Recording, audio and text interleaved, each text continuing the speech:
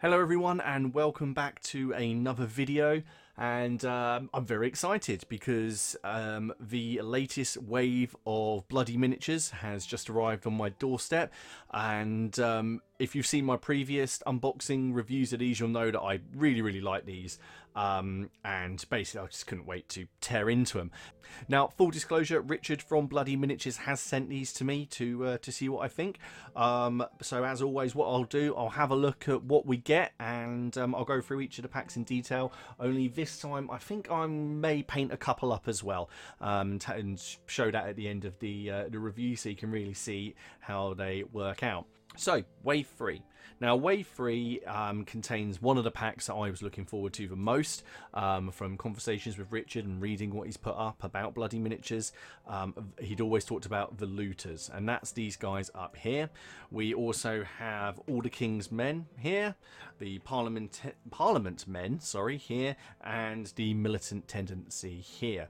Um, and it's the Looters that I've been looking forward to um, for quite a while now since he uh, since he announced them.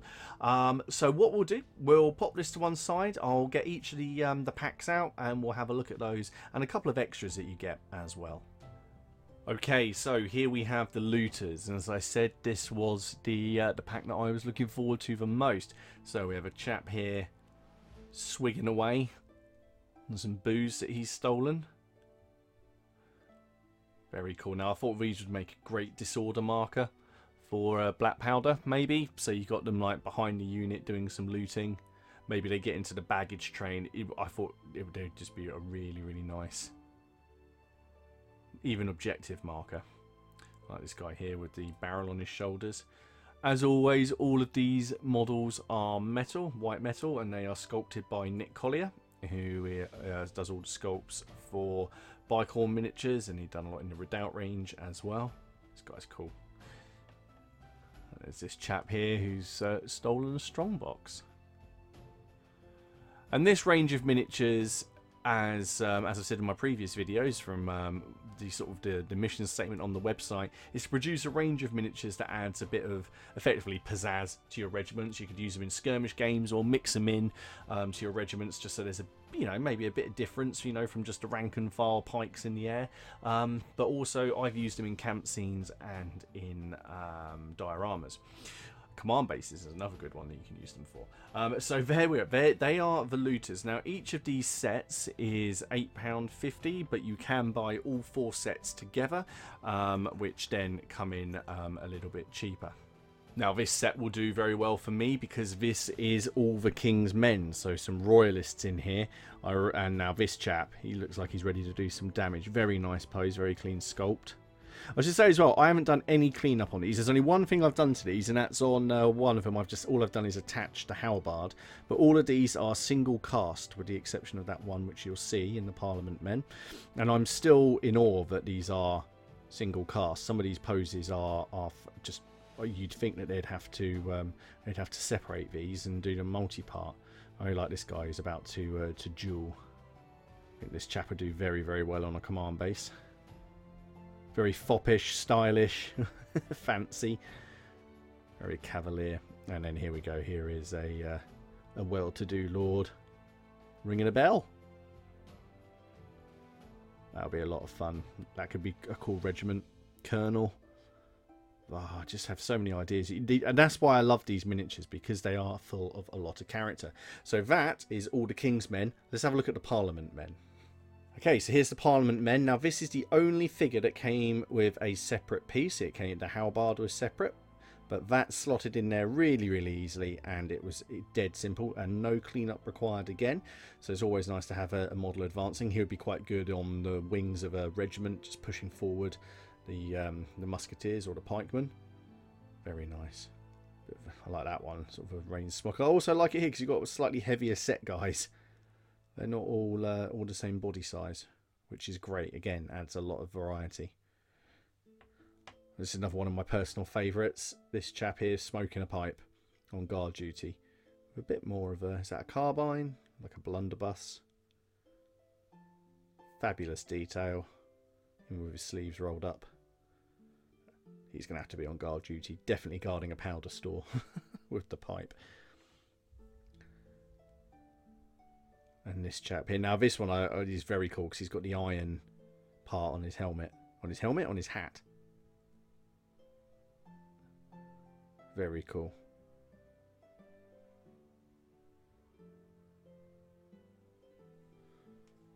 And the final pack in Wave 3 is the Militant Tendency. Uh, at this period, you've got people, you've obviously got a lot of um, religious fervour going on. There's people like the Levelers um, and other groups who um, sort of pushing people to fight for either side. Um, and these guys represent them. And this, what a figure. What a figure. That's got that would be right at home at the front of a front of a regiment of dragoons leading the charge as he's dismounted. In fact, I think that's what I'm going to have to use him for. And that's what I've been saving some of these bloody miniatures for. I have all of them, um, and um, I've been keeping some on one side because I thought that they would make a really, really nice group of dismounted dragoons. And I think I'll have enough now. It'd be a real sort of ragtag, dirty dozen, but that's exactly what I'd like to go for.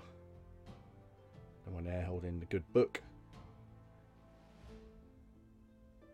Really nice. Now they're sold um, separately. All of the uh, the other sets are still on his website, and uh, if you head over to uh, Bloody Miniatures, I'll leave the link down below. Then you can see everything he has. As I say, you can buy them in sets of four separately, or he does have a deal where you can buy four of the sets together um, from that wave. So essentially, wave one, wave two, and wave three. I'll also leave a link down below where you can see my other videos, um, and I have a look at things like scale. I'm not going to put these in scale again because I've already done that. But basically, these are 28 millimeter scale, but they are at the larger end of that. Um, they are significantly bigger than, say, a Warlord um, model. They'll be about half a head taller um, and broader. However, these fit in really, really well um, with things like Perry and um, especially Bicorne miniatures, who um, is the same sculptor. Um, so they really are worth taking a look at, especially if you're just wanting to add a bit of variety to your regiments, which can can look standard and boring. Mine do. Um, I'm sure other people are wondering sometimes what can I do to, um, you know, fancy them up a little bit, basically. Um, so what I thought I would do, um, uh, previous reviews I've just gone through all the metals um, and I haven't um, really shown much else off. What I think I'm going to do is I'm going to paint a couple of these up and I'll come back to you, show you how they take the paint and just an example of what you can do with them. Um, so I think um, I'll have a look and decide which we're going to paint it's it's going to have to be the looters, isn't it, really? Um, so I think what I'm going to do with these is probably make two bases out of these, and they can potentially act as disorder markers, um, or um, potentially an objective. Or I could just get a big round base and um, do something with them. Anyway, what I'll do is I'm going to get everything undercoated. I'm going to put some paint on these. Um, I'll come back um, once I've uh, once I finish them, once I finish the base, which will probably be in uh, tomorrow evening. Um, but of course, um, it should hopefully just cut to that now. So I'll be back with you ASAP. Okay everyone, so I've had some time and I've gone away and I've painted up all four of the looters and I decided that I would base them up two to a base and create some either objective markers or potentially some disorder markers that could be placed behind um, units. And I'm really really pleased with how they came out. I think they show off the details of these miniatures um, very nicely. Um, it was quite quite a simple um, paint job. You know, they're only wearing buff coats, and when you've done enough of these ECW miniatures, you start to get a feel for how you can get through these fairly quickly. So what I'll do, I'll just stop the turntable, um, and we'll have a little look at this a bit closer. Okay, so here we are. Here is um, the first of the looter bases. Now, there's this guy here who's got the bag slung over his back. Now, I thought he looked like a basically a proper ruffian, and um, I decided to give him a bit of blood on his sword. Maybe someone tried to stand in his way as he was uh, taking his loot, and uh, he wasn't going to stand for that. What I really like about this is that the bag has been sculpted in such a way as it does look heavier at one end, so there is some swag in there that he's taken. And I thought he'd be quite fun because he's got his sort of grim expression if he had the, the guy who was uh, having a drink next to him. So I've uh, painted up the vessel like an earthenware vessel and uh, and just tried to keep them not in exactly the same colours. That way they could either be royalist or parliamentarian. Um, obviously red could be the King's Life Guard, but it also could be the New Model Army. Um, but I've just tried to vary the colours a little bit. But there you can see all the really nice details on the swords, on the musket, and in the faces themselves. So quick job on that. Very, very straightforward base. Nothing too drastic. Just the normal basing method. And then I thought I'd add a stump on there as well, just to uh, just to give it a bit more um, visual interest. Uh, the other base, we have this one here. Maybe an older looter gentleman. He's decided that he's had enough um, of being paid rubbish, and he's going to take some swag. So you can see he's got a small strong box there. And he's got a slightly more ornate sword than the others, so he's clearly like an officer or something who's uh, decided he's had enough and he's going to be off with the loot. And then over here we have one who's maybe stealing a small, uh, well it could be a small barrel of gunpowder, but I'd like to think there's actually some booze that he's nicked. Um, and then again, same again with the base, I just decided to put some reeds on this one and I've built it up exactly the same way as I do everything else. So there we go. As you can see on these as well, equal levels of very nice detail. The facial expressions are really nice and make it very, very easy to paint. There is no flat detail on here at all. So everything um, takes the paint very, very well. And I'm very, very pleased with these. So there we are. This basically sums up my sort of quick review and paint review of the third wave of the Bloody Miniatures release. And basically it's more of what we've come to expect, which isn't a bad thing. They're high quality, very, very characterful miniatures, and they can have a variety of uses, as I've already said. Um, how I would use these as an objective? Well, they can just be simple objective markers, or maybe we'll do something in a scenario whereby these looters are roving objectives they're running around on the battlefield and they're worth one point apiece or something like that. And when someone gets hold of them, they just get that little bit of uh, extra um, victory points to add to their total. Once again, thank you very much to Richard from Bloody Miniatures for sending these to me to uh, have a look at, and um, I hope you guys go over. Do check out his website and his uh, and his Facebook page where you can um, you can follow for all sorts of updates. Um, and what I will do, I'll leave links to all of that down below.